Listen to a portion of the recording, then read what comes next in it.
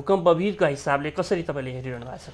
अब सर्वप्रथम मैले तपाईँकै स्टुडियोबाट विगत पनि बारम्बार के भन्ने गरेको थिएँ भन्दा नेपाल चाहिँ नि भूकम्पीय जोखिमको क्षेत्रमा पर्दछ किनभने बर्मादेखि अफगानिस्तानसम्मको पच्चिस सय किलोमिटर लामो हिमालयन जुन आर्क छ त्यो आर्क दक्षिणतर्फको भारतीय भूखण्ड र उत्तरतर्फको टिबेटन भूखण्डको जुदाइको जुदाइको क्षेत्रमा पर्दछ र यस- त्यस कारणले गर्दाखेरि दक्षिणतर्फको भारतीय भूखण्डले थेग्ने र उत्तरतिर चाहिँ जान नसक्ने अवरुद्ध भएको कारणले गर्दा यो ठाउँमा लक भएर बसेको थियो। त्यो लक भएर बसेको ठाउँमा हाम्रो जाने शक्ति सञ्चय भएको थियो। त्यो शक्ति सञ्चय भएको शक्ति अस्तिको भूकम्पले केही केही क्षेत्रमा सञ्चित भएको शक्तिलाई स्खलन गरिदिएको छ। त्यसैको उपजको रूपमा अस्ति चाहिँ नि एघार बजेर छप्पन्न मिनट जाँदाखेरि सात पोइन्ट छ रेक्टरसहरू भूकम्प गएको अवस्था हो। र यस्ता भूकम्पहरू यो हिमालयन क्षेत्रमा चाहिँ नि बारम्बार जाने जाने अ, क्षेत्र हो र अहिलेको सन्दर्भमा पनि यसलाई चाहिँ त्यही हिमालयन बेल्टको भूकम्पीय क्षेत्रमैको एउटा भूकम्पको रूपमा यसलाई हेर्नुपर्छ। यसमा अहिले यति बेला हाम्रा आम दर्शक र श्रोताहरूलाई जिज्ञासा भएको एउटा प्रश्न छ। जब सात दशमलव छ रेक्टर स्केलको जुन भूकम्प गइसकेको छ त्यसपछि पनि क्रमशः अरू करिब झन्डै त्यो निकटका छ रे रेक्टर स्केलका र त्यसको वरिपरिमा थुप्रै भूकम्पीय झट्काहरू हामीले महसुस गरिरहेका छौँ। र हाम्रो सामाजिक सञ्जालहरू मार्फत यस्ता खालका चाहिँ केही हल्ला र अफवाहहरू पनि आएका छन् कि कसैले नौ रेक्टर स्केलसम्म जान्छ भनेका छन् कसैले दस जान्छ भनेका छन् कसैले एघारसम्म जान सक्छ भनेका छन् र मानिसहरू अत्यन्तै त्रसितको अवस्थामा यति बेला छन्। यो अहिलेको वातावरणको अहिलेको वास्तविकता के हो? अलिकति प्रश्न गरिदिनुहोस् न। अब अहिलेको वास्तविकता के हो भन्दाखेरि जब सात पोइन्ट छ रेक्ट रेक्टर स्केलको भूकम्प गयो त्यसपछि त्यसका पराकम्पहरू भूकम्पको इनिसिएसन इनिसिएसन यहाँबाट सुरु भयो भूकम्प। भूकम्पको इनिसिएसन यहाँ भएपछि यसको चाहिँ ध्वजा यसको रप्चर यसरी जाने टु आर्ट्स इस्टतिर जाने प्रोपागेट हुँदै फैलिँदै गयो। र त्यसको कारणले गर्दाखेरि हाम्रा चाहिँ त्यसका पराकम्पहरू पनि पूर्वतिर अ, बढी बढी दे- देखिन आएको कारण त्यो एउटा त्यो हो। अर्को कारण के हो भन्दाखेरि जब सात पोइन्ट छ रेक्टरको भूकम्प जान्छ नि त्यसका पराकम्पहरू पनि ठुला ठुला हुन्छन्। एउटा त नि हामीले के भन्ने गरेका छौँ भन्दा सात पोइन्ट छ सात पोइन्ट सातको भूकम्प गइसकेपछि पराकम्पहरू पाँच सातवटा छ पोइन्ट छका भूकम्पहरू जान सक्ने सम्भावना त्यसपछि पाँचका प्रशस्तैहरू त्यसपछि चारका त्यसपछि तिनका प्रशस्तै भूकम्पहरू जान्छन्। र यो जानु भनेको राम्रो हो। नत्र भने हिजो तपाईँले हेर्नुभयो भने पनि के हुन्छ भन्दाखेरि चारको भूकम्प तिनको भूकम्प दुईको भूकम्प मात्रै गएर त्यो चाहिँ पराकम्पमा जुन मेन सकपछि रिलिज हुनुपर्ने अरू इनर्जी बाँकी हुन्छ त्यो इनर्जी चाहिँ रिलिज हुनुपर्ने सानो सानो भूकम्प नसकेको अवस्थामा मिडियम खालका छका भूकम्पले अलि अलि धेरै नै चाँडै डिसिमिनेट गरिदिने चाँडै रिलिज गरिदिने भएको कारणले गर्दाखेरि पनि यस्ता भूकम्पहरू चाहिँ स्वाभाविक हो यो नेचुरल हो यो चाहिँ ठुलो भूकम्प गइसकेपछि चाहिँ के हो भन्दा यो चाहिँ नियमित प्रक्रिया हो। अब मैले यहाँ तपाईँलाई के कुरा जोड्न चाह- चाहन्छु भने हाम्रो अहिलेसम्मको प्र्याक्टिस के थियो भन्दा छको भूकम्प जाने एकछिन मान्छे हर र बाहिर निस्कने फेरि सरहरूले हामीलाई फोन गर्ने टेलिभिजन आउने छको भूकम्प बारे कुरा गर्ने त्यतिखेर हामी आर इन्जोइङ अर्थक्वेक अब भोलि जान्छ यस्तो हुन्छ भनेर हामीले गरेका थियौँ। तर अहिले के भइदियो भन्दाखेरि नब्बे सालभन्दा पछिको सबैभन्दा ठुलो भूकम्प हामी हाम्रो यसमा केही पनि के छ अनुभव छैन। हामीले यसमा चाहिँ कसैको एक्सपिरियन्स छैन हाम्रो बुढापाकाहरू बिचरा नब्बे वर्ष करिब नब्बे वर्षको हाराहार यहाँ पुग्नुभयो। उहाँसँग हामीले जति सेयर गर्नु पर्थ्यो जति लिनु पर्थ्यो हाम्रो सन्ततिमा जति ट्रान्सफर गर्नु पर्थ्यो त्यो एजुकेसन हामीले हाम्रो सन्ततिमा ट्रान्सफर गर्न सकेनौँ। त्यतिखेरको बुढापाकाहरूले हेर हामी चाहिँ नि भूकम्प गएको बेलामा यसरी जमिन फाट फाटेको थियो हामी छ दिनसम्म बाहिर सुतेका थियौँ अनि पछि जाने जा माघको जाडो थियो भनेर जुन कहानीहरू हामीलाई सुनाउनुहुन्थ्यो त्यो कहानीहरू हामीले जाने कहीँ लिपिबद्ध गरेर हाम्रा जाने जेनेरेसनहरूलाई पढाउनु पर्ने अवस्था थियो रहेछ। अहिले अहिले अनुभव हुन आयो। यसो गरेको भए मान्छेहरूले पनि आफूले पनि फिल गर्थ्यो। अहिले त हामीले एउटा ब्रह्म शमशेरको जाने बुकबाट हेरेर के भयो के भइरहेको थियो त नब्बे सालको भूकम्पमा भनेर हामीले जाने त्यतिखेर पनि नब्बे सालको भूकम्प पाँच छ दिनसम्म ठुला भूकम्पहरू गएको कारणले गर्दा मान्छेहरू बाहिर रहेको अवस्था पनि थियो। त्यस कारण यसलाई हामीले चाहिँ के भनौँ भन्दा नब्बे सालको जत्रो भूकम्प यो होइन। यो महाभूकम्प सेभेन पोइन्ट फाइभको भूकम्प हो। नब्बे साल जति नै पाँच छ दिन हामीलाई चाहिँ यो पराकम्पहरू चाहिँ डिके हुन जुन चाहिँ टाइम लागिरहेको छ त्यति नलाग्ला। तर पनि सात पोइन्ट छका भूकम्प गइसकेपछि हाम्रा चाहिँ संरचनाहरू हल्लिएका छन् हाम्रा संरचनाहरू चाहिँ चिरा परेका छन् ठाउँ ठाउँमा विक भएका छन्। त्यस कारणले गर्दा यसलाई चाहिँ साना छका भूकम्पले पनि थोरै थोरै झट्काले पनि यसलाई चाहिँ न क्षति गर्न सक्छ। त्यस कारणले गर्दाखेरि हामी भ्याएसम्म सकेसम्म धेरै समय आफ्नो घरभित्र भन्दा पनि आफूलाई चाहिने सामानहरू लिएर निस्किएर कम्पनहरू चाहिँ अथवा भुइँ तलामा छेउछाउमा कतै बसेर अ, ओपन स्पेस जान नजिक छ भने त्यो ठाउँको नजिक नजिक बसेर आफूलाई अहिले चाहिँ संयमित भएर धेरै आतङ्कित पनि नहुने र धेरै चाहिँ ओभर कन्फिडेन्ट पनि नहुने। अब भयो भूकम्प आयो गयो अब आउँदैन भन्ने कुराले होइन छको भूकम्पहरू आउन सक्छन् है छको भूकम्पले पनि हामीलाई चाहिँ अप्ठ्यारो बनाउन सक्छ भन्ने खालको सोचाइ पनि राख्ने र नौको भूकम्प जाँदैछ दसको भूकम्प जाँदैछ भनेर जुन प्यानिक गर्ने कुरा छ यो चाहिँ कदापि किनभने हामी भूकम्पीय जोखिमकै क्षेत्रमा छौँ। आठका भूकम्प नौका भूकम्प हाम्रो नियति हो तर सात पोइन्ट छको भूकम्पको मेन सक गइसकेको अवस्थामा अब आउने भूकम्प त्यसका वरिपरि त्यही दरारमा आउने भूकम्प त्योभन्दा अवश्य साना हुन्छन् त्योभन्दा ठुला आठ नौको भूकम्प आउन सक्ने सम्भावना त्यही दरारमा अब सम्भव छैन म एकचोटि फेरि हाम्रा दर्शक श्रोताबिन्दलाई यो कुरालाई अझ प्राथमिकता दिएर भन्न चाहन्छु। डाक्टर साहब तपाईँलाई रेफर गरेर कि सात दशमलव छ रेक्टर स्केलको जुन हामीले ठुलो भूकम्पको धक्का महसुस गरिरहेका गरिसकेका छौँ अब आउने जतिसुकै धक्काहरू पनि अहिले तत्काललाई त्योभन्दा माथि आउने सम्भावना छैन। यसमा तपाईँहरू प्रष्ट भएर बस्नुहोला। र तपाईँहरूले जस्तोसुकै सामाजिक सञ्जालहरू मार्फत आएका जति जुनसुकै पनि अफवाहहरू छन् यसलाई तपाईँहरू अहिले कुनै पनि हिसाबले इन्टरटेन नगर्नुहोला र तपाईँहरूलाई हाम्रो यो इमेज च्यानल टेलिभिजन र image radio ninety seven point nine र हन्ड्रेड थ्री पोइन्ट सिक्सबाट यति बेला हामी तपाईँहरूसँग कुरा गरिरहेका छौँ। र तपाईँहरूलाई हामी प्रश्न गर्न चाहन्छौँ होइन डाक्टर साहब। कि यति बेला तपाईँहरूलाई नौ रेक्टर स्केलको दस रेक्टर स्केलको एघार रेक्टर स्केल जति पनि अफवाहहरू आछन् भने तपाईँहरू कृपया यसलाई यसबाट नडराउनु होला नआत्तिनु होला यो सम्भव अहिले छैन। तर अहिले डाक्टर साहबले भन्नुभएको थियो हाम्रो भूकम्पीय खतराका हिसाबले हो भने हेर्ने हो भने हामी अत्यन्तै खतरापूर्ण एउटा क्षेत्रमा छौँ। त्यस्ता खालका भूकम्प जाँदै जाँदैनन् भन्ने होइन। तर। अहिले तत्कालका लागि चाहिँ सात दशमलव छ रेक्टर स्केलको भूकम्प गइसकेको हुनाले त्यो सम्भावना कम छ। होइन डाक्टर? त्यही त्यही दरारमा त्यो सम्भावना कम रह्यो। जुन जाने यहीँ फर्कन्छ भन्छ नौको फर्कन्छ दसको फर्कन्छ भन्छन् नि। त्यो सम्भावना हाम्रो अहिले कम छ। अब डाक्टर साहब जस्तो अर्को चाहिँ के छ भने मान्छेहरू यति बेला आतङ्कित र त्रसित के कारणले पनि भइरहेछन् भने अघि भन्यौँ नि हामीले यत्रो ठुलो स्केलको भूकम्पको हामीले अनुभवै गरेका थिएनौँ। पाँच छ रेक्टर स्केलको भूकम्पहरू जान्थ्यो तपाईँलाई हामीले बोलाउँथ्यौँ कुरा गर्थ्यौँ के हो भन्थ्यौँ। हामीले यसको वास्तविक न क्षतिको अनुभूति गर्न सक्यौँ न यस यसप्रतिको गम्भीरतालाई नै हामीले ख्याल गऱ्यौँ। त्यो दुवै गर्न सकेनौँ। सकेनौँ। जसका कारणले आज हामीले यो क्षति र यो गम्भीरता हामीले बेहोरिरहेका छौँ। यसपछि दुईवटा कुराहरू सँगसँगै आए। एउटा चाहिँ लगातार जस्तो पराकम्पन भइरहेका छन् भूकम्पको। यो अरू कति समयसम्म लम्बिन सक्छ यस्तो खालको पराकम्पनहरू कति समयसम्म हुन सक्छ? त्यस्तो बेलामा त्यस्तो पराकम्पन भएको बेलामा हामीले अत्यन्तै ख्याल गर्नुपर्ने होसियारी पुर्याउनु पर्ने क्षेत्र र विषयहरू के हुन् अब पराकम्पनहरू सबभन्दा पहिला मैले के भन्छु भन्दाखेरि राष्ट्रिय भूकम्प मापन केन्द्रले अहिले चाहिँ चौबिसै घन्टा त्यहाँ साथीहरू हामीहरू सबै त्यहीँ बसेर पराकम्पहरूको राम्रोसँग मोनिटर गरिरहेका छौँ र हामी चाहिँ स्वदि स्वदेशी विदेशी एक्सपर्टहरूसँग पनि क्लोज कनेक्सनमा एकदम सामिप्यमा रहेर काम गरिरहेको अवस्था छ। त्यस कारणले बाहिरका अफवाहतिर लाग्नुभन्दा राष्ट्रिय भूकम्प मापन केन्द्रको four four one zero one four one को चाहिँ नम्बरमा फोन गरेर के छ अहिलेसम्मको भूकम्पको अवस्था भनेर बुझेर एउटा चाहिँ आधिकारिक गृह मन्त्रालय एनइओसीसँग हामी जाने जाने बित्तिकै हामीले एनइओसीलाई खबर गरिरहेका छौँ।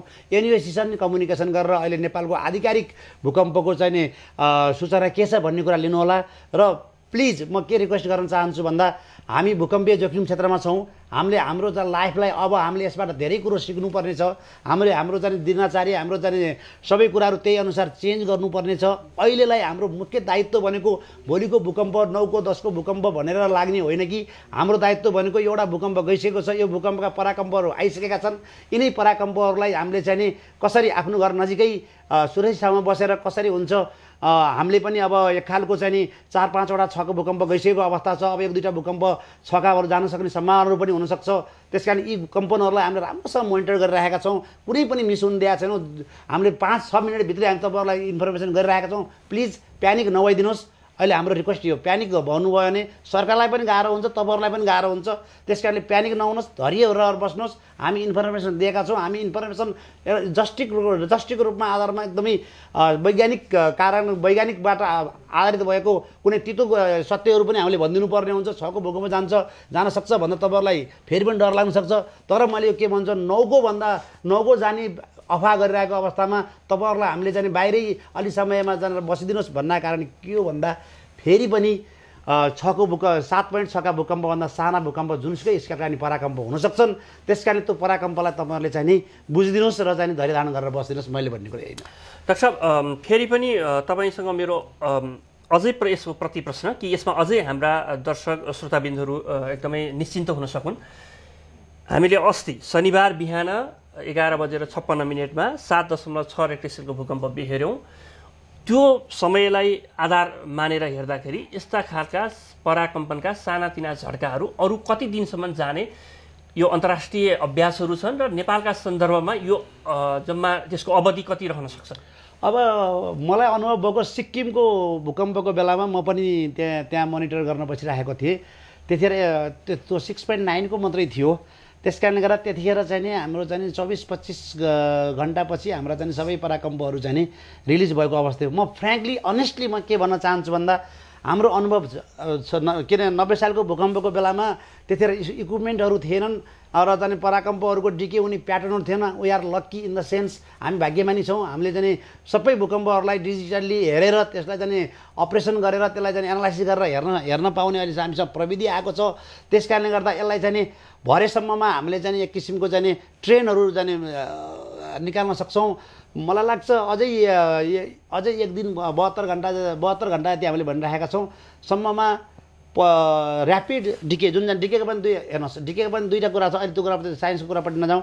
ऱ्यापिड डिके बहत्तर घन्टाभित्र चाहिँ केही हुन्छ कि हामी हेरौँ। त्यसपछि पनि हाम्रा चाहिँ जुन अनुमान गरिएका केही अप्ठ्यारोहरू जानुपर्ने हो ती जहाँ गएनन् भने फेरि हामी तपाईँहरूलाई निरन्तर त्यसैको आधारमा चाहिँ सूचना दिन्छौँ। बहत्तर घन्टा यहाँले जुन भन्दै हुनुहुन्छ त्यो चाहिँ अस्ति एघार बजेर छप्पन्न मिनटको समयलाई आधार मान्दाखेरिको बहत्तर घन्टा हजुर भनेपछि हामीसँग चाहिँ यो समय अब क्रमशः घट्दै घट्दै गइरहेको छ। त बहत्तर घन्टापछि पनि जानुपर्ने जुन एफ्टरसकहरू हो ती सबै गइसकेन भने हामी तपाईँहरूलाई फेरि चाहिँ यस्तो छ तपाईँहरू अलिकति अलिकति चाहिँ संयमित हुनुहोस्। घरैभित्र जाँदाखेरि पनि यसरी बस्नु होला भनेर हामी चाहिँ तपाईँहरूलाई अब अथवा दुई तिन तलामाथि नबस्दिनु होला कहीँ बस्दिनु होला भन्ने खालको चाहिँ इन्फर्मेसन हामी दिउँला। अब यसै यसै विषयमा यही विषयमै अब यति बेला म हजुरसँग के बुझ्न चाहिरहन्छु भने अब यो जुन खालको पराकम्पनहरू होइन मुख्य भूकम्पपछि जाने जुन सक्सहरू जुन छ त्यसलाई हेर्ने हो भनेदेखि अब एक एकजना नागरिकले एकजना व्यक्तिले अत्यन्तै ख्याल गर्नुपर्ने यो समयमा बुद्धि पुर्याउनु पर्ने यो समयमा विषयहरू के के हुन्? अलिकति टिप्स भनिदिनुहोस् न। टिप्स एक नम्बरको टिप्स के हो भन्दाखेरि योभन्दा ठुलो भूकम्प जाँदैछ।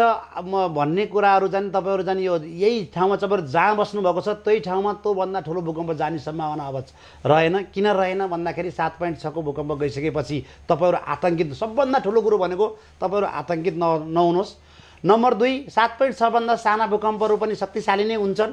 त्यस कारणले तपाईँ हाम्रा घरहरू सबै चाहिँ अहिले जाने स्ट्रक्चरहरू चाहिँ यो अब गाडेको भैँसी भैँसी गाई भैँसी बान्न गाडेको किलो जस्तो हल्लिएर चाहिँ अलिकति चाहिँ फल बलिएको छ। त्यस कारणले त्यसलाई चाहिँ राम्रोसँग अब्जर्भेसन गरेर तपाईँ आफूलाई जाने सुरक्षित सबभन्दा पहिला तपाईँ आफ्नो जाने सुरक्षा आफ्नै जिम्मा हो। सरकारले गर्दैन आफ्नो सुरक्षा आफैले गर्ने हो। सरकारले गर्दैन आफू बसेको ठाउँ वरिपरि के के भन्डेबल अब वस्तुहरू भन्डेबल अवस्थामा छन् त्यो राम्रो जाने परीक्षण गरेर राम्रो हेरेर हेरेर जाँच गरेर तपाईँ जाने आफूलाई म यहाँ बसेँ भने सानो कम्पना आयो छको कम्पना आयो भने पनि म त्यहाँसम्म गएर सुरक्षित हुनसक्छु भन्ने तपाईँलाई चाहिँ लाग्छ भने त्यही अनुसार तपाईँले आफ्नो प्रक्रियाहरू परिचालन गर्नुहोस्।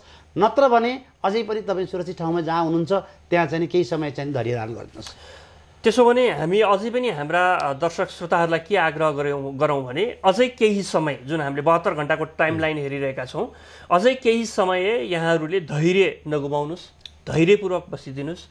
र जति पनि अहिलेको अवस्था छ तपाईँहरू घरभित्र धेरै समय नबिताउनुहोस्। खानाहरू बनाउने कुरा छ भने पनि तपाईँ या त सेल्टरहरूमा बस्नु भएको छ त्यहाँ बनाएर खानुहोस्। होइन तपाईँको घर नजिक खुल्ला ठाउँ छ तर म घरकै नजिक आफ्नो बरन्डामा बनाएर खान्छु भन्नुहुन्छ भने बार बरन्डा बाहिर चाहिँ नि आँगनसम्म बनाएर खानु होला घरभित्र खाना बनाएर नखानु होला होइन? अब अहिले हुन त काठमाडौँको धेरै ठाउँमा बिजुली बत्तीहरू कटौती गरेको छ। बिजुली आएकै छ भने पनि बिजुलीहरू चाहिँ कटौती गर्नु होला ग्यासका चाहिँ जति पनि पाइप लाइनहरू ग्यास लाइनहरू छन् त्यो सबै चाहिँ बन्द गर्नु होला यी अत्यन्तै प्राथमिक कुराहरू छन् र सँगसँगै केही प्राथमिक औषधोपचारका उपचारका केही सामग्री औषधिहरू पनि यहाँहरूले चाहिँ जम्मा गरेर राख्नु होला त्यो कुनै पनि बेला केही हुनसक्छ।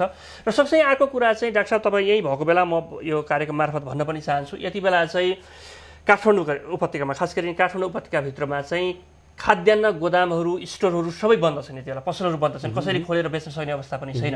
तर मानिसहरूको घरमा अब कसैले पनि यो आपत आउला भनेर ख्याल गरेको थिएन।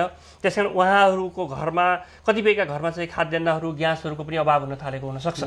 त्यस कारण यो हाम्रा जति पनि अहिले यो कार्यक्रम हाम्रो सुनिरहनु भएका छन् जसको पसल छ स्टोरहरू छ उहाँहरूले क्रमशः यो सुविधा जनतालाई दिनेतिर चाहिँ उहाँहरूले चाहिँ नि ख्याल गरिदिनुहोस्। हामी त्यो पनि यो कार्यक्रम मार्फत आग्रह गर्न चाहन्छौँ। डाक्टर डाक्टर अझ एउटा मैले के आग्रह गर्न चाहन्छु भन्दाखेरि अब पहिलोको जस्तो पराकम्पहरू फ्रिक्वेन्टली आउने सम्भावना अब कम छ। फेरि पराकम्प आउने भए पनि फ्रिक्वेन्सी कम हुँदै गएको छ। जस्तै छको भूकम्प आउन सक्ला भन्दा भनिराख्दाखेरि हामीले जस्तै पहिलो दिन तपाईँले पाँचका भूकम्प जति फ्रिक्वेन्टली अनुभव गर्नुभएको थियो छका भूकम्प जति फ्रिक्वेन्टली अनुभव गर्नु थियो त्यो दुइटा बिचको डुरेसन अब घट्छ। त्यसै कारण त्यो डुरेसनमा तपाईँहरूले जाने प्लिज आफ्नो पसलहरू खोलिदिने र जाने पेट्रोल पम्पहरू खोलेर जनतालाई जाने लाइफलाई जाने ब्याक टु नर्मल ल्याउनलाई चाहिँ सहयोग गरिदिनु हुनु पऱ्यो यसैबाट म पनि आग्रह गर्दछु।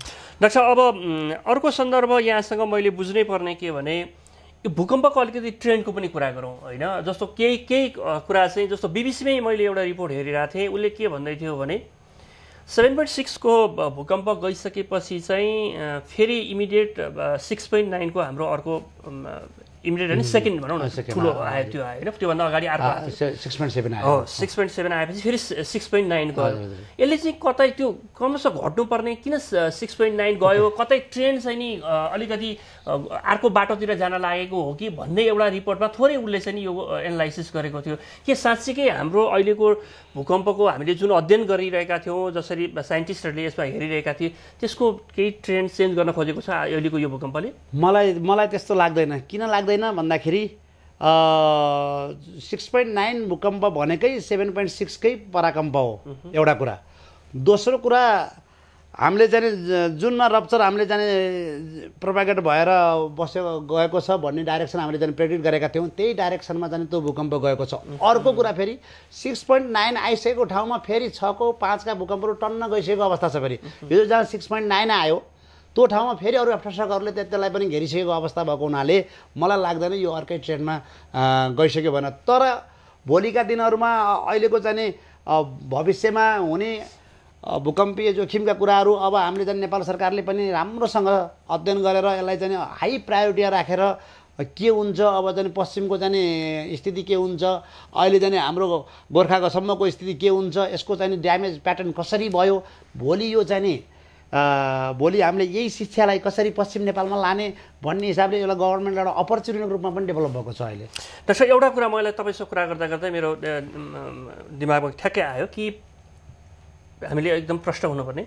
गोर्खाको बारपाकमा अहिलेको यसको सेन्टर छ होइन? दस किलोमिटर बिसदेखि पच्चिस किलोमिटर। बिसदेखि पच्चिस किलोमिटर तल जमिन मुनि त्यहाँ सेन्टर बनाएर यसको चाहिँ के अरे भूकम्प अगाडि गएको छ।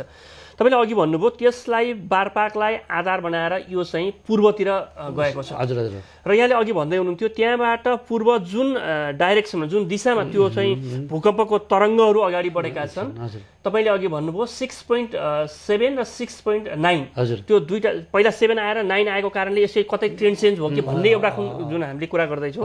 त्यो हेर्दाखेरि चाहिँ सिक्स पोइन्ट सेभेन गएको त्यसको बिन्दु लाइन रेखा र सेभेन पोइन्ट नाइन गएको बिन्दु रेखा पनि एउटै एउटै समान रेखामा परेका छन् हो। एउटै समान रेखा त्यो भए हुनाले यो चाहिँ एउटै जोनमा एउटै जोनमा परेको छ। यसको मतलब चाहिँ सेभेन पोइन्ट नाइनको जुन भूकम्प हामीले बिहोऱ्यौँ त्यसकै पराकम्पनकै रूपमा यसलाई हामीले लिँदा हुन्छ। यसमा अरू अरू अरू डराउनु पर्ने विषय छैन। के हुन्छ भन्दा जब यहाँ भूकम्प गयो भूकम्प गएपछि सानो रप्चरहरू चाहिँ प्रोभाइडेड भयो।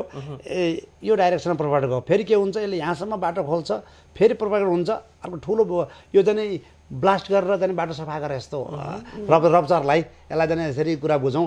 र त प्रत्येक जाने ठुलो अनि पछि त्यो फेरि सफा गर्ने फेरि सानो त्यसै पराक्रममा अर्को सानो जाने फेरि पाँच चारका जाने फेरि अर्को फिटिका अर्को जाने पाँच जाने एउटा साइकलको रूपमा पराक्रमको साइकलको रूपमा डेभलप हुन्छ क्या यसलाई यसरी बुझौँ त्यसो भने जस्तो हामीले एउटा ठुलो चट्टानमा ब्लास्टिङ गर्दाखेरि ठुलो आवाज र ठुला चाहिँ तपाईँको टुक्राहरू बाहिर छरिन्छ। त्यसपछि क्रमशः ती टुक्राहरू हामीले पन्छाउँदै जान्छौँ। त्यसका चाहिँ तरङ्गहरू जसरी आउँछ नि हामीले बाटै घुम्दाखेरि पनि एउटा एउटा मैले उदाहरण दिन खोजेको। करिबन अहिलेको अवस्था पनि पराकम्पनको अवस्था पनि उसले उसले चाहिँ नि आफ्नो रप्चरको पा रप्चर प्रोपागेसन हुने पाथमा जुन डाइरेक्सनमा चाहिँ नि भूकम्पको असर जाने गइरहेको छ तर जमिन मुनि जुन ढाँचा जमिन मुनिको जुन सोर्सको कुरा गरिरहेको छु मैले सोर्समा सोर्स जतातिर प्रोपागेट भयो त्यतातिर चाहिँ नि भूकम्पको चाहिँ नि अ, पराकम्पहरू पनि फलो गर्दै गएको अवस्था हो। यो नियमित अवस्था हो क्या यसलाई? अब त्यसो भने अब एउटा कुरा प्रश्न हो न। गोर्खाको बारपागमा केन्द्र बनाएर यो भूकम्पको चाहिँ धक्का जति पूर्वतिर बढी प्रवेश गर्यो पश्चिम यसको धक्का कम देखिएको छ।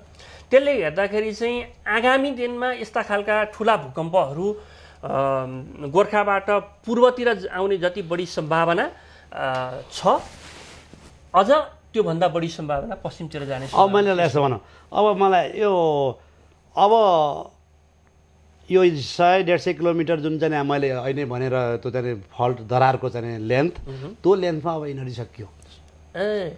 किन जुन इनर्जी डिसिमिनेट भएर बसेको थियो त्यो डिसिमिनेट के अरे स्टोर भएर होइन स्टोर भएर बसेको थियो त्यो इनर्जी चाहिँ नि अहिले सात पोइन्ट छको भूकम्पले के गरिदियो भन्दा त्यसलाई रिलिज गरिदियो।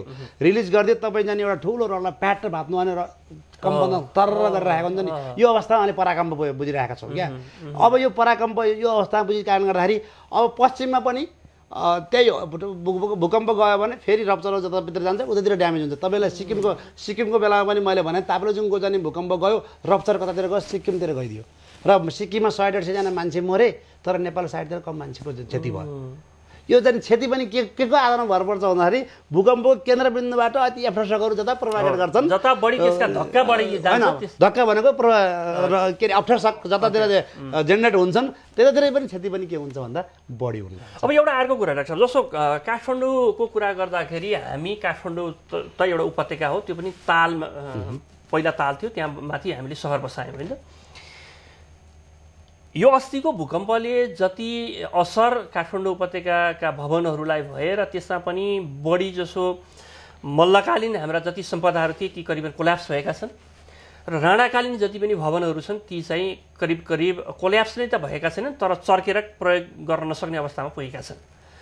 त्यसपछि बनेका भवनहरू पनि जुन हामीले आधुनिक प्रविधि अप्नाएर बनाएका छौँ ती भवनहरू पनि धेरै जसा भवनहरू या त प्रयोग गर्न नसक्ने गरेर कोल्याप्स ध्वस्त भएको छ। या त चर्किएका छन् त्यसलाई फेरि हामीले पुनर्निर्माण नगरिकन त्यसको सम्भव छैन। यसको कारण काठमाडौँमा यति बिघ्न क्षति हुनुको कारण के हो? मलाई भन्नुहुन्छ भने काठमाडौँमा तपाईँले हामीले हाइटी र जहिले पनि हामीले के गर्थ्यौँ हाइटी र काठमाडौँ हामीले एउटा चाहिँ किसिमको लक्की पनि भन्नुपर्छ हामीलाई। हाइटी र काठमाडौँको तुलना गर्थ्यौँ हामीले जहिले पनि। हाइटीमा सात पोइन्ट सात सात सेभेन पोइन्ट वानको भूकम्प र यहाँ सेभेन पोइन्ट सिक्सको भूकम्प धेरै टाढा होइन गोर्खा भनेको यहाँबाट। नब्बे किलोमिटरको एरियाले असी नब्बे किलोमिटरको एरियल डिस्टेन्स हो। यतिमा त्यत्रो ठुलो भूकम्प जाँदाखेरि काठमाडौँको चाहिँ ड्यामेजलाई हेर्दाखेरि जुन रूपमा मान्छेहरूले एनसी सोचेका थिए त्योभन्दा यसलाई मैले कम कमै रूपमा लिएको छु।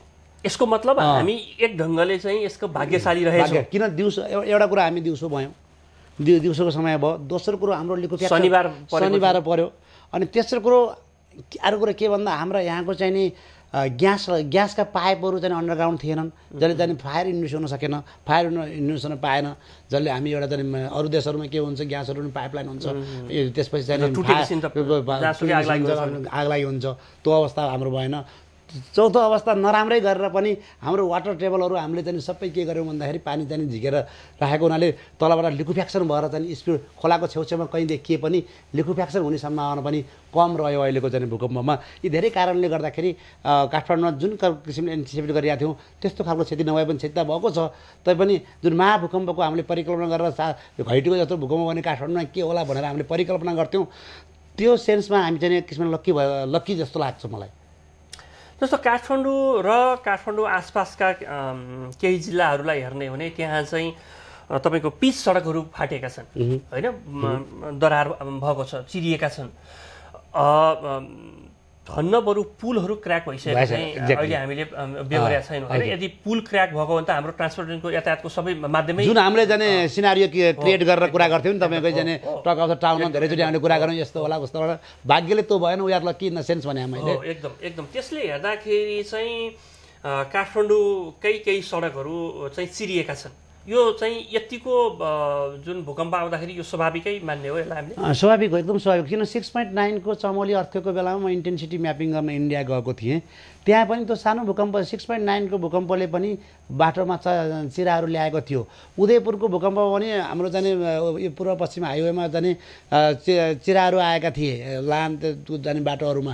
त्यस कारणले यो seven point six it is not small earthquake it is great earthquake यसमा चाहिँ नि तपाईँको चाहिँ स्वाभाविक हो। यतिको चाहिँ चिराहरू निस्कनु स्वाभाविक हो। मैले भन्न खोजेको कुरा के भन्दा हाम्रो स्केलमै हाम्रो हाम्रो दिमागको स्केलमै सेभेन पोइन्ट सिक्सको भूकम्पको हाम्रो चाहिँ अनुभव नभएको हाम्रो ठुलो कहाँनिर चुक्यो भन्दा नब्बे सालको भूकम्पको बारेमा हाम्रो जेनेरेसनलाई हामीले पढाएनौँ। अब त्यो चाहिँ हामीले चुक्यौँ त्यो त्यो अब अर्को कुरा नि जस्तो तपाईँले मलाई गजब यसमा लागेको चाहिँ हामीले सबै कुरा काहीँ न काहीँ किताबबाट पढ्यौँ होला काहीँ न काहीँ सङ्गतबाट थाहा पायौँ होला। उन्नाइस सय नब्बेको जुन महाभूकम्प थियो त्यो महाभूक भूकम्पबाट तत्कालीन समयको प्रविधि तत्कालीन समयको स्रोत तत्कालीन समयको राज्य व्यवस्था त्यो अवस्थामा चाहिँ त्यसलाई कसरी ट्याकल गरिएको थियो यद्यपि एउटा त्यति बेलाको भाग्यमानी परिस्थिति के थियो भने अहिलेको जस्तो जनसङ्ख्याको घनत्व काठमाडौँमा थिएन। त्यसले गर्दाखेरि त्यति बेला मानिसहरूको मानवीय क्षति कम भयो।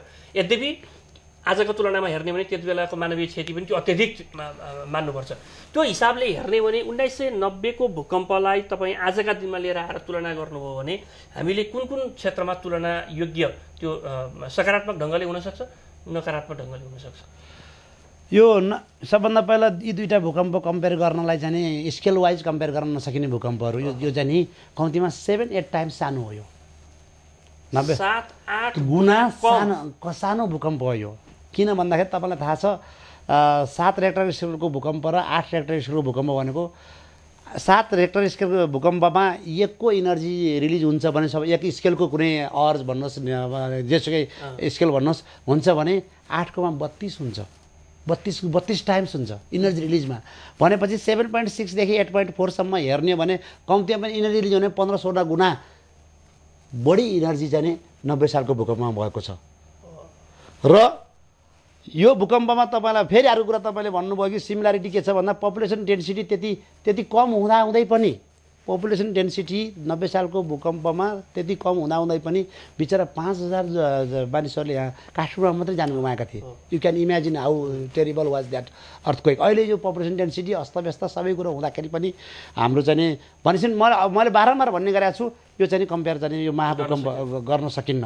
अब हामीले यसबाट सिकेर त्यसको तयारीमा हामी चाहिँ लाग्नुपर्छ भोलिको दिनहरूमा। डाक्टर साहब यो सिकाइको जुन कुरा छ म अहिले हेरिरहेको छु काठमाडौँ उपत्यकाभित्रको मान्छेहरूको अत्यधिक कम खुला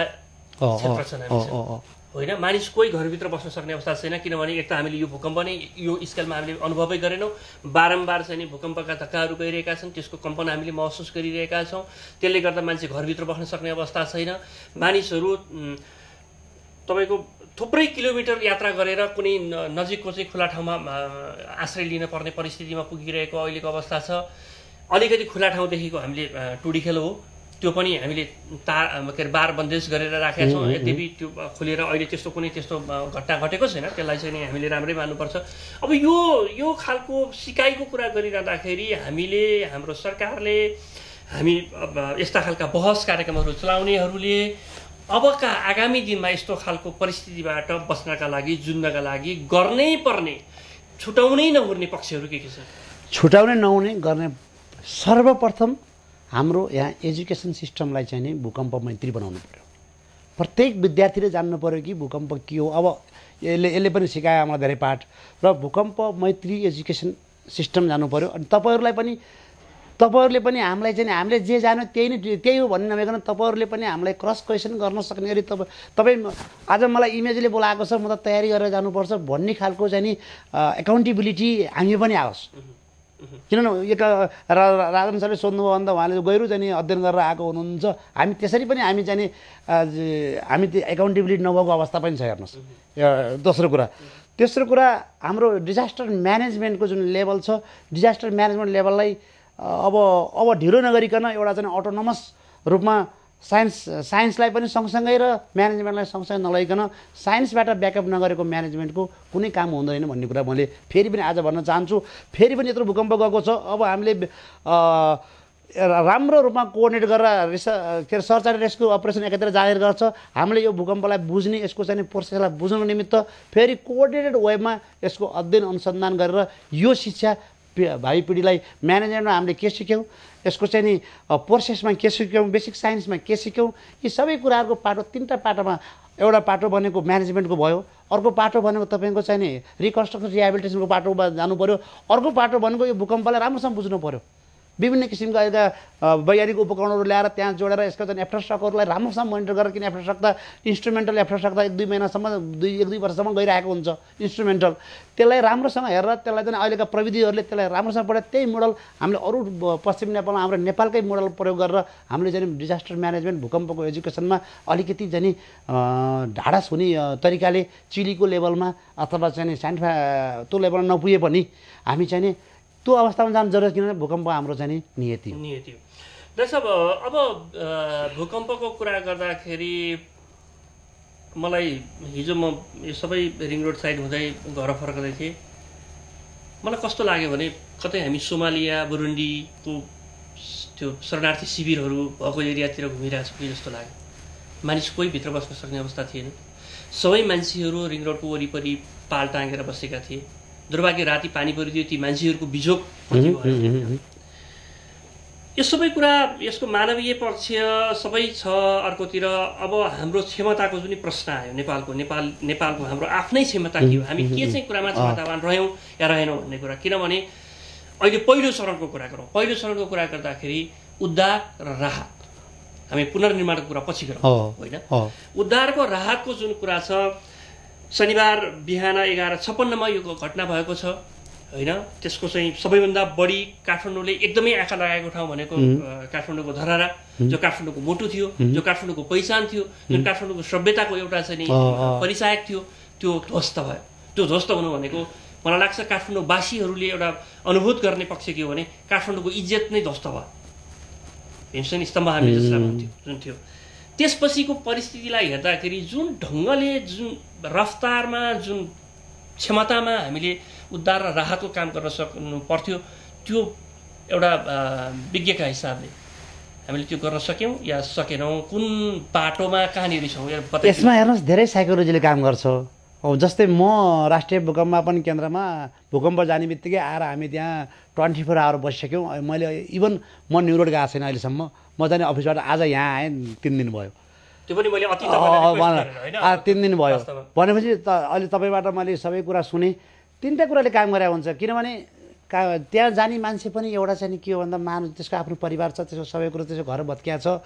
त्यसलाई चाहिँ नि सरकारले हामीले सबैले मनोबल तपाईँ नब्बे सालको ब्रह्म संस्थान लेखेको किताबमा जाने पढ्नुहुन्छ। कसरी आर्मीहरूको कसरी पुलिसहरू कसरी सुरक्षाकर्मीहरूको मनोबल बढाउने कामहरू चाहिँ बेला लेक्चर दिएर तिनीहरूलाई चाहिँ मोटिभेट गरेर तिनीहरूलाई चाहिँ इन्सपायर गरेर हेर तिमीहरू आफ्नो जे भयो अब भनेको चाहिँ तिमीले बचेकालाई बचायो भने तिम्रो पितृहरूको उद्धार त्यो खालको धार्मिक संस्कारको हिसाबले जाने प्रवचन दिइन्थ्यो क्या त्यो त्यो बेलामा।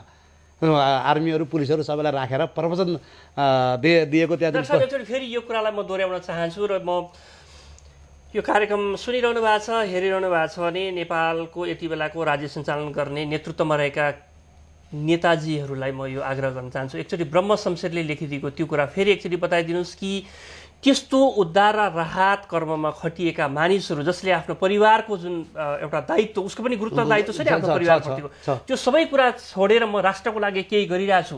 मैले मेरो समाजको लागि केही गरिरहेको छु। मैले मेरो नागरिकका लागि केही गरिरहेको छु भन्ने कुराको उत्प्रेरणा जुन जगाउनु पर्ने परिस्थितिमा होइन त्यो कहीँ कहीँ हामीले सुकिरहेको छौँ कि भन्ने मलाई लागिरहेको छ त्यस कारण एकचोटि फेरि म तपाईँसँग आग्रह गर्छु ब्रह्म शमशेरले लेखेको त्यो पुस्तकमा तात्कालीन समयको नेतृत्वकर्ताहरूले कसरी उनीहरूलाई त्यो मोटिभेट गरेका थिए एकचोटि फेरि एकपल्ट उनीहरूको चाहिँ दुई बजे भूकम्प गयो त्यसपछि चाहिँ नि टुडी खेलमा परेड खेलिरहेका पुलिसहरू चाहिँ नि सब चाहिँ नि परेड परेड चलिरहेको थियो।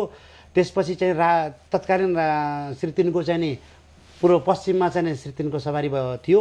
उहाँले चाहिँ यहाँ जाने बित्तिकै त्यसपछि सम्पूर्ण सुरक्षाकर्मीहरूलाई बोलाएर हेर तिमीहरूको पनि आफ्नो चाहिँ जहानहरू केटीकेटीहरू मर्यो होला नि के भयो होला तिमीहरू रा तँ आफ्नो परिवारभन्दा नि माथि उठेर तिम्रो राष्ट्रको लागि चाहिँ सोच अहिले चाहिँ मान्छेहरू चाहिँ तिमीहरूको खाँचो छ भनेर चाहिँ उत्प्रेरणा गराएको चाहिँ त्यहाँ चाहिँ वक्तव्यहरू चाहिँ तिनीहरूलाई दिएको वक्तव्यहरू देख्न देख्न पाइन्छ। र त्यस कारणले त्यस्तो किसिमको उत्प्रेरणा जगाउन सक्नु पऱ्यो कि हामीले चाहिँ मान्छेलाई पठाउनु मात्रै होइन कि मान्छेले भित्रैबाट गर्न सक गरौँ भन्ने एउटा भावना डेभलप गराउनु पऱ्यो र अर्को कुरा अब मान्छे हो उसको जस्तै म यहाँ बसेर काम गरेर मेरो श्रीमती घरमा बसिरहेको छ उसलाई के भयो होला? भन्ने खालको चाहिँ एउटा चाहिँ कौतुलता सबैको सबैको मान्छे हो। बाहिर हेरेर मात्रै म काम गर्छु भनेर हुँदैन। साइकोलोजिकल्ली हामी हाम्रो सबै संयन्त्रलाई स्ट्रङ बनाउनु पर्ने जरुरी यसलाई यसरी पनि अलिकति लिउँ डाक्टर साहब जस्तो अत्यन्तै संवेदनशील विषयमा हामी कुरा गरिरहेका छौँ। र कहीँ न कहीँ नब्बे सालको भूकम्पको समयमा त्यति बेलाको समाज त्यति बेलाको राज्य व्यवस्था त्यति बेलाको नेतृत्वकर्ताहरूले कसरी यो विषयलाई ट्याकल गरेका थिए भन्ने कुरा केही लिपिबद्ध भएका कुरालाई आधार मानेर आज हामी नेपाल सन्दर्भमा कुरा गरिरहेका छौँ। त्यसरी हेर्दाखेरि आज पनि जति मानिसहरू जति हाम्रा नेपाली सेनाका सशस्त्र प्रहरीका नेपाल प्रहरीका लगायत स्वयंसेवी हातहरू जो नागरिक स्तरबाट उठेका छन् ती मानिसहरू उद्धारमा जुटिरहेका ती मानिसहरूको परिवारप्रतिको उनीहरूको जुन दायित्वबोध छ उनीहरूको जुन चिन्ता छ त्यसलाई कम गराउनका लागि राज्य स्तरबाटै उनीहरूको परिवार तिमीहरूका परिवारहरू सब सेफ छन् है। तिमीहरू परिवारप्रति कुनै चिन्ता नगर। हामीले राज्यले तिमीहरूको परिवारलाई सही ठाउँमा चाहिँ सेल्टर दिइरहेका छौँ। उनीहरूले कुनै कुरा खान पाए पाएनन् भन्ने कुरा चिन्ता नगर। त्यो राज्य त्यसको पछाडि छ भनेर जुन खालको ती मानिसहरूलाई उत्प्रेरणा जगाउनु पर्ने परिस्थितिमा हामी यति बेला छौँ त्यो चाहिँ सायद कम भयो कि? अब हुन अस्ति अस्ति भर्खर पनि गृह मन्त्रालयमा हाम्रो मिटिङ भएर यो कुराहरू जाने ब्रिफिङ भएको थियो र उहाँहरूले चाहिँ राम्रोसँगै मोटिभेट गरेर आर्मी पुलिसहरूको टिमलाई चाहिँ खटाएको अवस्था छ। त्यस खाल कमी नै भन्नुभन्दा अझै यसलाई चाहिँ बढी गर्ने हो कि भन्ने कुरा अब फेरि अघिकै प्रश्नमा फर्क्यौँ। हामी अलिकति अलिक भावनात्मक पनि भयो होइन अहिलेका सन्दर्भमा संवेदनशीलताको कारण होइन तपाईँले भन्नु भने उद्धार र राहत भनेको यो चाहिँ उद्धार र राहतको जुन रिलेटिभ कुरा हो कि अब्सुलुट अब्सुलुट होइन किन भन्दा आफ्नो आफ्नो पनि परिवार छ सबै छ त्यसलाई चाहिँ कसरी चाहिँ साइकोलोजी यो त साइकोलोजी पनि हो ठुलो चाहिँ विपदमा साइकोलोजीले पनि काम गरे हुन्छ मान्छेहरूको। अब यो उद्धार र राहतको कुरा गर्दाखेरि चाहिँ यति बेला ठ्याक्कै सरकारले राहत कर्मीहरूलाई परिचालन गर्ने कुरा गर्दाखेरि अब अहिले चाहिँ के छ भने मान्छे झुन्ड झुन्ड झुन्ड झुन्ड झुन्ड बनाएर जहाँ जहाँ खाली ठाउँ छौँ त्यहाँ बसिरहेका छन्। अब ती मान्छेहरूलाई मैले अघि सुरु पनि भनेको थिएँ हामीले अपिल पनि गरिसकेका छौँ कि अहिले सबै बजारहरू बन्द छन् काहीँ केही सामानहरू छैनन् मान्छेले पाइरहेको छैन क्रमशः आफूसँग भएको स्टक पनि मान्छेको सकिँदै जान्छ। त्यो बेलामा यो सहजीकरण गर्ने काम पनि एउटा राज्यको त्यो त्यो त्यो हिसाबमा पनि राज्यका सम्बन्धित निकायहरूको ध्यान जाओस् हामी चाहिँ पनि आग्रह गर्न जान्छौँ। डाक्टर साहब कतिपय हामी कार्यक्रमको अन्त्य अन्त्यमा पनि आइरहेका छौँ।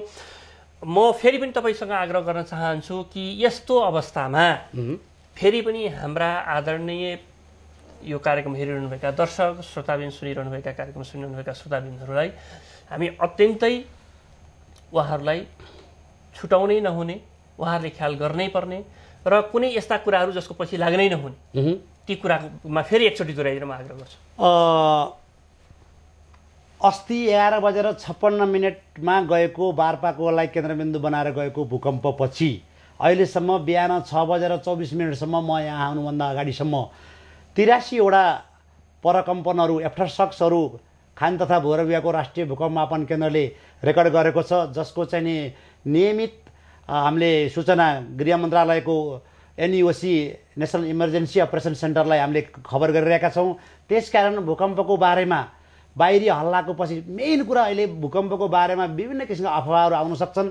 ती अफवाहहरूको पछि नलागिकन हाम तपाईँले चाहिँ राष्ट्रिय भूकम्प मापन केन्द्रको four four one zero one four वानको नम्बरमा सम्पर्क गरी अथवा एनइएससीको नम्बर नेसनल इमर्जेन्सी अपरेसन सेन्टरको गृह मन्त्रालयको न हटलाइनमा सम्पर्क गरेर तपाईँहरूले भूकम्प सम्बन्धी सूचना आधिकारिक सूचना लिनुहोस् पछि नलाग्नुहोस्। एफ्टरसकहरू नियमित रूपमा घट्दै गइरहेका छन्। यसको चाहिँ दुईवटा एफ्टरसकहरूको बिचको दूरी पनि कम हुँदै गइरहेको अवस्था छ। त्यस कारणले गर्दाखेरि यो कम भएको दुईवटा एफ्टरसकको बिचको दूरी कम भएको अवस्थामा तपाईँहरूले भएका पसलहरू केही समयको लागि भए पनि खोलिदिनुहोस् र जनजीवन नर्मल सहजीकरण गर्नलाई सहयोग गरिदिनु। हामी सबैको कर्तव्य हो। हामी सबै एउटा नेपाली नागरिकको हिसाबले किनभने हामी सबै विपदमा छौँ। एउटा नागरिकले अर्को नागरिकलाई सहयोग गर्नु बाहिरको सहयोगभन्दा पनि हाम्रो आफ्नो भित्रको सहयोगले एउटा त्यो मात्र नभएर हाम्रो राष्ट्रिय राष्ट्रिय एकताको पनि निर्माण गर्छ। त्यस कारण यो अवस्था यसलाई चाहिँ हामीले चाहिँ यसरी नै बुझेर हामी अगाडि बढौँ भन्दै डाक्टर साहब म सँगसँगै म यसमा एउटा कुरा जोड्न चाहन्छु जुन कुरा तपाईँले भन्नुभएको छ। भूकम्पका बारेमा यहाँहरूलाई कुनै पनि बेला कति जुनसुकै सूचना पनि लिनु पऱ्यो भने अहिले डाक्टर साहबले भन्नुभयो भूकम्प राष्ट्रिय भूकम्प भूकम्प केन्द्रको चौवालिस दस एक सय चौवालिस दस एक। सय एकचालिस एक चार एक चौवालिस दस एक चार एक। फेरि पनि म तपाईँहरूलाई यो नम्बर नोट गराउन चाहन्छु। यो नम्बरमा तपाईँहरूले फोन गर्न सक्नुहुनेछ। कुनै पनि बेला तपाईँहरूलाई चाहिँ कहिलेकाहीँ अब फेरि यो धेरै खालको भूकम्प गइरहँदाखेरि भूकम्प नजाँदा पनि भूकम्प गएको जस्तो हुन्छ। त्रास लाग्छ। अहिले जमिन नहले पनि तपाईँ हाम्रो सबैको मन हल्लिएको छ। मन हल्लिँदाखेरि पनि हामी त्रसित छौँ। धेरै मानिसहरू यस कारण पनि त्रसित छन् कि बालबच्चाहरू बालबालिकाहरू छन् उनीहरू त्यसै डराइरहेका छन्। बिरामीहरू छन् विभिन्न खालका चाहिँ यो लामो खालको रोग भएका मान्छेहरू छन् जसलाई तपाईँले घरभित्र र बाहिर गरिरहँदाखेरि चाहिँ उहाँहरूलाई अर्को चाहिँ त्यो अप्ठ्यारो पर्ने परिस्थिति छ। त्यस्तो बेलामा मान्छेको मन हल्लिरहेको हुनसक्छ। त्यो बेला पनि तपाईँलाई कुनै पनि सूचनाको जरुरी पऱ्यो भने चौवालिस दस एक सय एकचालिस नम्बरमा फोन गरेर उहाँहरू त्यहाँ हरदम सूचनाको लागि तयार हुनुहुन्छ? तपाईँहरू त्यहाँ फोन गरेर सूचना लिन सक्नुहुन्छ? त्यस्तै गृह मन्त्रालयको आपतकालीन उद्धार केन्द्रमा चाहिँ पनि हटलाइनको व्यवस्था छ। त्यो नम्बर पनि त्यसमा पनि हामी गर्न सक्छौँ। तपाईँहरूले त्यसमा फोन गर्न सक्नुहुनेछ। र अन्तमा फेरि पनि म तपाईँहरू सबै आदरणीय दर्शक श्रोताबिरलाई फेरि पनि आग्रह गर्न चाहन्छु अपिल गर्न चाहन्छु। इमेज च्यानलकै तर्फबाट पनि तपाईँहरूलाई म आग्रह गर्न चाहन्छु। कृपया कुनै पनि खाले अफवाहको पछि नलाग्नुहोला। अहिले सामाजिक सञ्जालमाथि जुन खालका अन्धाधुन्न खालका चाहिँ सूचनाहरू सम्प्रेषण भइरहेका छन् त्यस्ता खालका सूचनाको पछाडि कृपया नलाग्नुहोला। सबैभन्दा महत्त्वपूर्ण कुरा आधिकारिक सूचनाको पछि लाग्नुहोला र जति सकिन्छ त्यति सुरक्षित हुने स्थानमा तपाईँले अहिले आफूलाई राख्नुहोला। अर्को अर्को चौबिस घन्टासम्म त्यसरी तपाईँहरू रहनुभयो भने क्रमशः यसको चाहिँ प्रभाव घट्दै गइरहेको छ। त्यसबाट आत्तिनुपर्ने परिस्थिति छैन। पहिलो कुरा हामी अहिले जोग्यौँ। त्यसपछि अब क्रमशः हाम्रो अरू उद्धारको कुरा के अरे राहतको कुरा त्यसपछि पुनः पुनर्निर्माणको कुराहरू हुन्छ। फेरि हामी त्यो विषयमाथि अर्को बहस चलाउनेछौँ। त्यसमाथि राज्यका थुप्रै निकायहरूलाई लिएर आएर त्यो पुनर्निर्माणका सन्दर्भमा कसरी छिटोभन्दा छिटो पुनर्निर्माणका कार्यहरू प्रभाव प्रभावित गर्न सकिन्छ कसरी त्यसलाई हामीले अगाडि ल्याउन सकिन्छ भन्ने कुरा पनि हामी गर्न सक्छौँ। र सँगसँगै अन्तमा एउटा आग्रह फेरि पनि म दोहोऱ्याउन चाहन्छु जसको स्टोरहरू छन् खाद्यान्नका स्टोरहरू जसका पेट्रोलियम पदार्थका सेन्टरहरू छन् जहाँ जहाँ खानेकुराहरू छन् यी सबै पसलहरू क्रमशः यहाँहरूले खोलिदिनुहोस्। मानिसहरूको घरमा भएका स्टकहरू सकिन थालेका छन्। उनीहरूलाई चाहिँ क्रमशः चाहिँ धेरै सकेन भने एउटा समय हामीले समय निश्चित गरौँ। त्यहाँबाट मानिसहरूले केही सामानहरू किनेर लैजान सकुन् र उनीहरूले आफ्नो चाहिँ जन जनजी जीविकालाई आफ्नो जीवनशैलीलाई आफ्नो चाहिँ घर व्यवहारलाई क्रमशः चाहिँ सामान्य ढङ्गले अगाडि लैजान सकुन्। र एउटा यस्तो आतङ्कको वातावरण सिर्जना नगरौँ फेरि अर्को एउटा ख्याल गर्नुपर्ने कुरा के छ भने कालो बजारी यही मौकामा चाहिँ तपाईँको अघि सुन्दै थिएँ डाक्टर साहब मैले बिस पन्ध्र रुपियाँ पर्ने पानी त्यसलाई मार्केटमा बिस रुपियाँसम्म पनि बेच्छन्। तर त्यो पानी चालिस पैँतालिस पचास रुपियाँसम्म पनि बेचेको भन्ने कुराहरू सुन्न थालिएको छ। पैँतालिस रुपियाँको प्याजलाई चाहिँ एक सय पचास रुपियाँसम्म तिर्नुपर्ने परिस्थिति आएको भन्ने कुराहरू सुन्न थालिसकेको छ। यो खालको कालो बजारी सँगसँगै अगा- अगाडि हुन सक्ने सम्भावना छ। यतातिर राज्यका निकायहरू पनि ख्याल गरौँ। र सबैभन्दा महत्त्वपूर्ण कुरा तपाईँले आफ्नो मानवीय धर्ममा मानिसु। मैले यति बेला कसैलाई ठग्नुहुन्न यति बेला यो यो देश आपतमा परेको छ हामी सबै नेपालीहरू आपतमा छौँ। मैले कसैसँग दुई पैसा पैसा बढी पैसा कमाउने भन्दा सके बरु म एक पैसा कममा उनीहरूलाई उपलब्ध गराउँछु। यो मेरो मानवीय धर्म हो। म बाँचेँ देश बाँच्यो नेपाली जनता बाँचे भने हाम्रो इज्जत बाँच्यो भने हामी फेरि अरू पैसा कमाउन सक्छौँ भन्ने कुरा चाहिँ कृपया तपाईँको मनमा राखिदिनुहोस्। र म फेरि पनि आग्रह गर्न चाहन्छु कुनै पनि विदेशीले चाउचाउको पोका आकाशबाट फालेको पोका टिपेर खानुपर्ने परिस्थिति आयो भने नेपाल र नेपाली भनेर आजका दिनसम्म हामीले जुन गर्व गरिरहेका छौँ जुन स्वाभिमानका साथ हामी भनिरहेका छौँ विश्वमा दुई साम्राज्य हार्दाखेरि पनि हामी नेपाली हारेनौँ भनिरहेका छौँ। तपाईँ हामीकै कारण त्यो एउटा हाम्रो जुन गर्वशील इतिहास छ त्यतातिर प्रश्न उठाउने काम कृपया कसैले पनि नगरौँ। यो मानवीय धर्म हो सबैले आफ्नो त्यो धर्मलाई ख्याल गरौँ। म फेरि पनि सबैलाई यो आग्रह गर्न चाहन्छु र नआत्तिन आग्रह गर्न चाहन्छु। डाक्टर साहब आज आइदिनु भयो यति धेरै सूचनाहरू हामीलाई सेयर गरिदिनु भयो यस्तो परिस्थितिमा तपाईँको यहाँभन्दा बढी त्यहाँ महत्त्व छ भन्ने कुरा मलाई थाहा छ। मेरो त्यो आग्रहलाई पनि तपाईँले स्वीकारिदिनु भयो यहाँसम्म आउनुभयो। म तपाईँलाई हार्दिक धन्यवाद दिन चाहन्छु डाक्टर साहब। धन्यवाद आदरणीय दर्शकबिन। श्रोताबिन यहाँहरू सबैलाई धन्यवाद दिन चाहन्छु। हाम्रो कार्यक्रम सुन्नुभयो हेर्नुभयो र फेरि पनि यहाँहरू धैर्य गर्नुहोला नआत्तिनुहोला र क्रमशः हामी यो परिस्थितिलाई एउटा नियन्त्रणमा लिएर अगाडि बढ्ने सिलसिलामा अगाडि बढ्नेछौँ। र अहिलेसम्म चाहिँ त्रियासीवटा होइन त्रियासीवटा चाहिँ आफ्टर सक्सहरू गएका छन्। अब यो क्रम घट्दै गएको छ नआत्तिनुहोस् फेरि यति भन्दै हामी सबैजना कार्यक्रमबाट बिदा चाहन्छौँ। नमस्कार। ठिकै।